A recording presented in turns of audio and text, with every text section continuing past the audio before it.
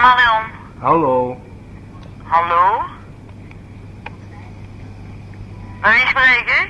Met het uh.